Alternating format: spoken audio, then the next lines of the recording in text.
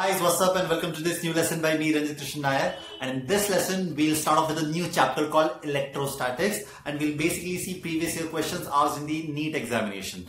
So uh, previously we were just studying wave optics and before that geometrical optics. Now we'll study electrostatics. I'll uh, make a few lessons on this. So electrostatics is again a really, really important topic. Uh, quite a few questions can be and have been asked from this chapter. So without any further delay, let's begin. Hey, what's up? So before uh, delving into it, let me just briefly introduce myself. Uh, I did my BTech in electrical engineering from IIT Madras back in the year 2010. And I also cleared the JEE Advanced and the JEE Main exam. Uh, I, अरे यार इतनी बार बता चुका हूँ कि बता बता के बोर हो गया खैर सो आई गेस मालूम होगा मेरे बारे में let's actually get into the questions ठीक है So the question is, uh, suppose the charge of a proton and an electron differs slightly. One of them is minus E and the other is E plus delta E.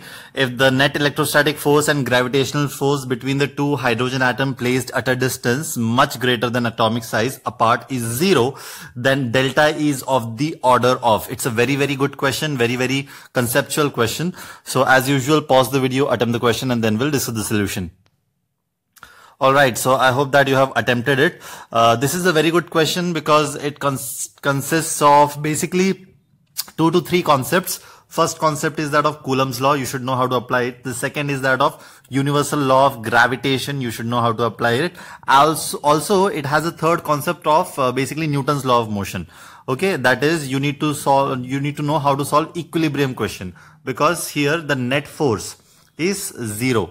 So simply you can see that if two particles are kept like this, actually it's not particle, it's atom. So an atom consists of one proton and electron. One has charge minus E, another has charge plus E plus delta E. So if you calculate the total charge of an atom, the total charge of the atom can be found out by adding these two and you get the total charge as minus E plus E plus delta E that is equal to plus delta E minus E and plus E will get cancelled out. So you can think of atom as a particle with plus E charge like this.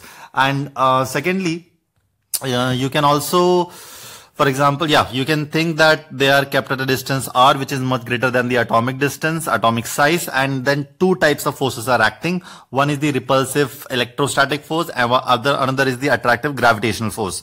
Now, the net force, since it is given to be zero, you just make the net force zero, you just write it down mathematically. That is force of gravitation minus force of electrostatics will be equal to zero because why minus? Because they are in opposite direction. So Fg will be equal to Fe. You just apply the universal law of gravitation and the Coulomb's law.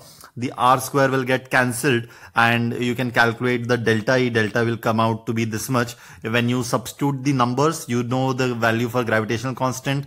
You know the K, which is 1 upon 4 pi epsilon naught and you know the value of mass of hydrogen. So when you substitute it, you will get the answer to be approximately 10 raised power minus 7 order. Okay, so option will be, option B would be the correct answer. Moving on to the next one. So here, uh, like the previous question was about uh, Coulomb's law. This is more about uh, pot electric potential. So it's a very good question and a very standard question, I would say. So uh, it's given that two metallic spheres of radius 1 centimeter and 3 centimeter are given charges. So this is charges here minus 1 into 10 raised power minus 2 coulomb and 5 into 10 raised power minus 2 coulomb respectively. If these are connected by a conducting wire, the final charge on the bigger sphere is the final charge on the bigger sphere is. So we have to find out. These are the option. As usual, pause the video, attempt the question, and then we'll discuss the solution.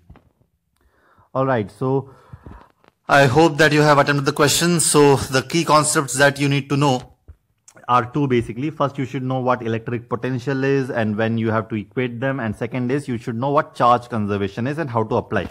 So let's write down first draw the diagram. So we have two spheres like this with R1 and R2, one centimeter and three centimeter radius and with these respective charges. So given values are, uh, what are, what is the given value? You need, uh, you basically know the two charges Q1 and Q2 and you also know the radius uh, I have converted into SI unit 10 raised power minus 2 meters because it was given in centimeters earlier. So total charge is equal to Q1 plus Q2.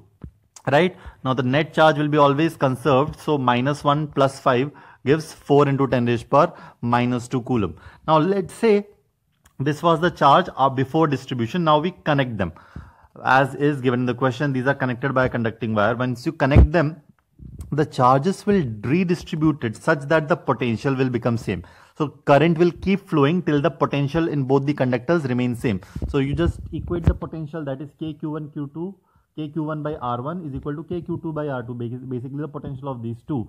So you will get q1 q2 by q1 is equal to r2 by r1 is equal to 3 so now you have two equation that is q2 by q1 is equal to 3 and you also have the charge conservation equation q1 plus q2 is equal to 4 into 10 raised power minus 3 on solving these two equations you can see that you get calculate q2 which is the charge on the larger uh, ball it is equal to 3 into 10 raised power minus 2 coulomb so option b would be the correct answer now, let's move on to this question. It's a very good question and a very, very conceptual question.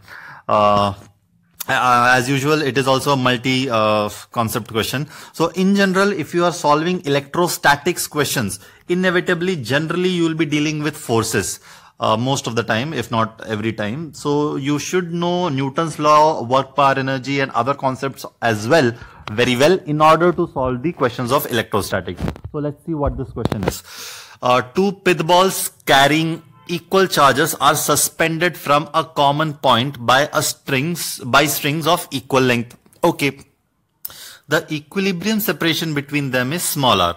Now the strings are rigidly clamped uh, now the strings are rigidly clamped so uh, like this okay now you have to find the equilibrium separation okay so instead if the earlier height was y now the height is y by 2 so it is clamped uh, here.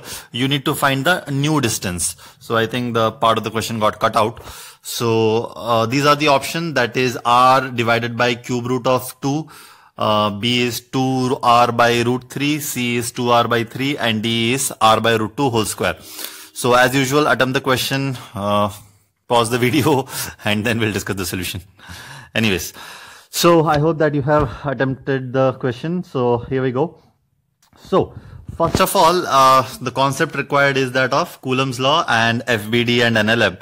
So first let's draw the diagram. This is the, this was, by, the way, this diagram was given with the question. This is what we are drawing in the solution. So this was given in the question as well. Okay. Now, what is happening here is you are basically pulling these strings towards the center and you are constraining it like this. And now the early, now new height becomes y by 2. So if you draw the free body diagram of the charge particle, then there will be tension, there will be uh, electrostatic force and there will be gravitational force. So there are three forces and it is in equilibrium.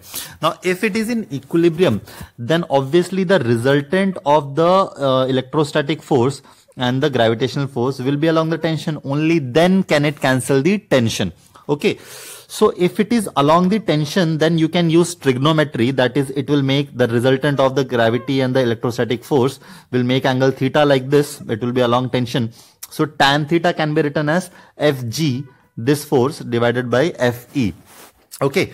Similarly, once you clamp it here, the angle theta will be made different. So let's call that angle phi okay now here the perpendicular will become y by 2 and this distance will become x by 2 we are assuming the x is the total separation. Like previously we assumed that r is the total separation. So in the triangle it will become r by 2 now tan theta is equal to fg by fe like i previously established. You just substitute the value of force of gravity. Force of gravity is mg downwards and force of electrostatics is kq square by r square so uh, that will be again equal to y by r by 2. This is y, this is r by 2 because that is equal to tan theta. Okay, so this is the first equation. Similarly, you can do the same thing for tan phi. It is again fg by fe.